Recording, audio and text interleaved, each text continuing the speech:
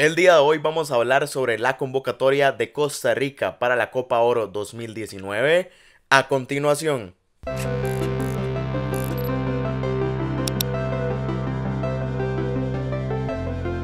Vamos a repasar cada una de las posiciones de esta convocatoria de Gustavo Matosas para este torneo regional. Además, luego de comentar cada una de estas posiciones, también les voy a dar algunos datos que dejó esta convocatoria. Vamos con la primera posición de una vez con la portería en la que están convocados Leonel Moreira, Brian Segura y Marco Madrigal. Acá pues el tema me parece que es la ausencia de Keylor Navas, injustificada a mi parecer, porque bueno, la Copa Oro es todo lo que Costa Rica puede aspirar a ganar y debería poder contar con su mejor plantel para esto y me parece que las excusas o las razones que dan por lo que Keylor no viene a esta convocatoria no son suficientes. Entendería que se perdiera algunos amistosos, sin embargo pues ya torneos como Copa Oro no me parece correcto. Sin embargo, dejando eso de lado, Costa Rica toda la vida ha tenido buenos arqueros, entonces me parece que no tenemos ningún problema con esto. Tanto Leonel Moreira como Brian Segura pueden cumplir. A mi parecer Brian Segura debería ser el titular para darle rodaje porque me parece que sería el sustituto ideal de Keylor una vez que se retire. Así que bueno, el asunto es que aunque está la ausencia de Keylor, me parece que en la portería Costa Rica está bien cubierto. La segunda posición es el lateral derecho en el que están convocados Cristian Gamboa y Keisher Fuller. Acá sí me parece que está un poco débil esta convocatoria porque Cristian Gamboa tiene muchísimos meses de no disputar minutos y Keisher Fuller todavía no ha terminado de convencer como un jugador de selección nacional. Además estaba la posibilidad de llamar a Ian Smith que está teniendo muchísima regularidad en Europa y que lo veo como el lateral derecho del futuro de la selección de nuestro país. Así que me parece que perfectamente Matosas pudo haber sacrificado a uno de los dos que convocó para haber llamado a Smith. Sin embargo, pues Tal vez Gamboa en algunos partidos pueda mostrar su fútbol ya con más ritmo. Tal vez Keisher Fuller se pueda terminar de consolidar. Sin embargo, sí me parece que hizo falta la convocatoria de Ian Smith. Ahora vamos con los dos laterales izquierdos que fueron convocados. Brian Oviedo y Ronald Matarrita. Acá me parece que no hay mucho que hablar. Son los dos mejores en esta posición en nuestro país. Además están teniendo buena regularidad. Están pasando por un buen momento. Así que me parece que no hay muchísimo qué hablar en la convocatoria de ambos laterales izquierdos. Ahora vamos con la zona central de la defensa en la que están convocados Giancarlo González, Kendall Waston, Oscar Duarte y Francisco Calvo. Acá pues hay dos temas. El primero es que sí me parece que son los mejores centrales que tiene Costa Rica en este momento.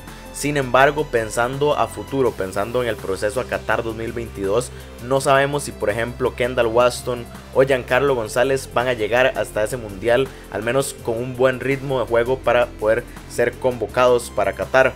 Entonces me parece que tal vez se le puede haber dado la oportunidad a algún central más joven para irle dando rodaje para ir probando quién puede estar en Costa Rica, en la selección de Costa Rica y quién no. Sin embargo, pues tal vez pensando en el hecho de tratar de ganar este torneo, la convocatoria es la mejor que pudo haber hecho Gustavo Matosas. En cuanto a la contención, hay tres convocados. Celso Borges, Jelsin Tejeda y Alan Cruz. Acá también me parece que están los mejores del país en este momento.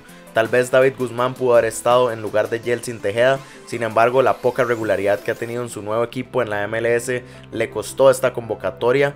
Entonces sí me parece como les digo que son los mejores del país. Los titulares deberían ser Celso y Alan Cruz. Entonces no veo muchísima polémica en esta posición. Ahora vamos con los creativos de nuestra selección nacional.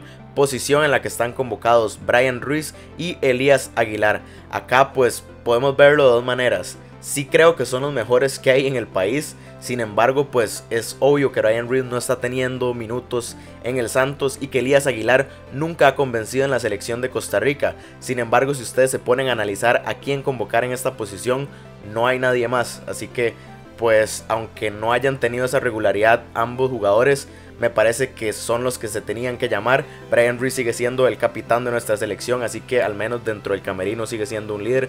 Así que pues a pesar de ese problema de ambos jugadores, veo bien la convocatoria en esta zona. Ahora vamos con los extremos convocados por Gustavo Matosas, que fueron Jimmy Marín, Randa Leal, Joel Campbell y Cristian Bolaños. Acá sí creo que son los mejores que tiene el país. Cristian Bolaños estaba atravesando un buen momento en el campeonato nacional y me parece que sí se ganó su convocatoria. Jimmy Marín y Randa Leal son el futuro de Costa Rica en estas posiciones. También Joel Campbell está pasando por un gran momento de forma en el León de México. Así que me parece que estos cuatro jugadores se ganaron con creces su convocatoria para la Copa Oro. Y finalmente llegamos a los delanteros convocados para esta Copa Oro, a los encargados de realizar los goles, que fueron Álvaro Saborío, Jonathan McDonald y Myron George. Acá me parece que el asunto sigue siendo el mismo problema que ha tenido Costa Rica en los últimos años, que no ha logrado encontrar un sustituto para Álvaro Saborío y por eso en reiteradas ocasiones ha regresado a la selección.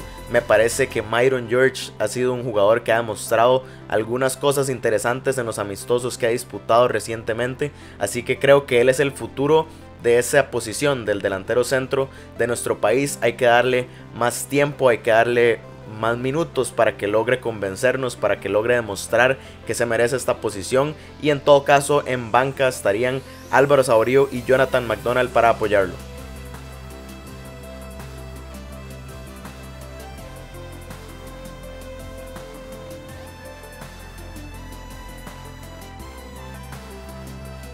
Así que este fue mi comentario sobre estos 23 jugadores convocados por el seleccionador nacional Gustavo Matosas para esta Copa Oro 2019. Pero además de este comentario, ahora les voy a comentar algunos datos que dejó esta convocatoria.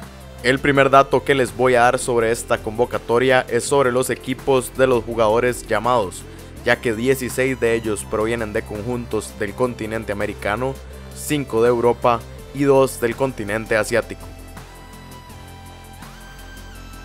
Además, la liga que aporta más jugadores a esta convocatoria es la de Costa Rica con 8 jugadores llamados, seguida de las de Estados Unidos con 5 y la de México con 2. Finalmente, el equipo con más jugadores convocados a esta Copa Oro por Costa Rica es el Club Sport Herediano con 3 jugadores, seguido del Deportivo Saprissa, la Asociación Deportiva San Carlos y el FC Cincinnati con 2. A continuación hablaremos sobre la edad de los jugadores, ya que los de mayor edad son Álvaro Saborío con 37 años, seguido de Cristian Bolaños con 35 y Marco Madrigal con 33. Como dato curioso, Marco Madrigal es solamente 15 días mayor que Brian Ruiz. Y los jugadores más jóvenes de esta convocatoria de Costa Rica son Jimmy Marín con 21 años, seguido de Randall Leal y Brian Segura, ambos con 22 años, ya que los dos nacieron el 14 de enero de 1997. Y hablando de la edad de los jugadores de esta convocatoria, el promedio de edad del llamado de Gustavo Matosas para esta Copa Oro es de 28 años. Ahora vamos a hablar sobre las provincias donde nacieron los 23 jugadores convocados para este torneo, ya que 11 provienen de San José, 4 de Limón, 3 de Alajuela, 2 de Heredia y también 2 de Guanacaste, mientras que Cartago y Punta Arenas no aportan ningún jugador a esta convocatoria. Además, por supuesto, falta Oscar Duarte, que no nació en el territorio nacional, sino en la ciudad de Catarina, en Nicaragua. Y finalmente, el último dato que les voy a comentar sobre esta convocatoria es sobre los equipos en los que debutaron los llamados a esta Copa Oro, ya que 9 jugadores debutaron en el Deportivo Saprissa, aunque podrían ser 10, ya que Keisher Fuller debutó en el Saprissa de Corazón de la segunda división en ese momento. Tres jugadores debutaron en Liga Deportiva Alajuelense y también tres jugadores debutaron en el Club Sport Herediano. Y con esto finalizamos el video del día de hoy. Quiero que me dejen en los comentarios qué opinan ustedes de esta convocatoria de Gustavo Matosas para la Copa Oro. También me pueden dejar qué jugadores hubieran dejado fuera ustedes o qué otros jugadores hubieran llamado para la Copa Oro. También me pueden dejar ideas para videos futuros. Recuerden que durante este mes el canal está en modo Copa Oro, así que me pueden dejar ideas de videos específicamente de esta Copa Regional. Así que recuerden suscribirse en el canal y encender las notificaciones para nunca perderse ninguno de mis videos. Salen todos los miércoles a las 11 de la mañana, hora de Costa Rica y nos vemos en la próxima.